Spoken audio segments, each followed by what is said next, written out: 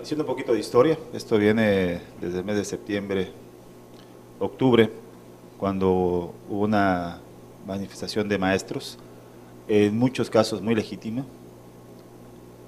Eh, la ley que expidió el gobierno federal, pues hacer una reforma, pues obviamente motivó, generó en los maestros incertidumbres que se han ido aclarando desde esa fecha hasta ahora.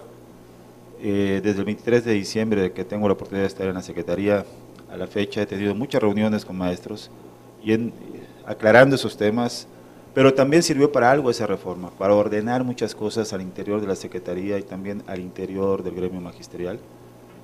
¿Cómo cuáles? Mira, un ejemplo muy claro.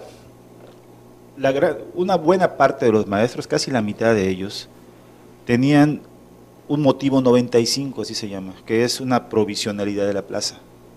Cuando ya habían cumplido el requisito para tener la definitividad, que es, le llaman motivo 10 por cuestiones de, claves y conceptos en, en la nómina. Eso no se había hecho. Se hizo ahora de manera automática y eso le da la certeza a todos los maestros que están en esta situación a darles un trato distinto de lo que establece la ley del servicio profesional docente en cuanto al trato a las plazas provisionales, que es si no cumples con tu tercera evaluación, sales del sistema educativo.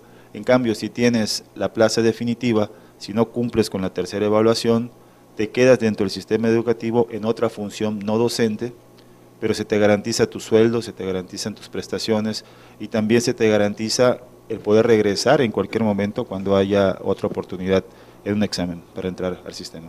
Entonces, la ley nos está permitiendo aclarar muchas cosas, ordenar, y también creo que en un futuro va a generar una mayor calidad educativa tal y como buscan.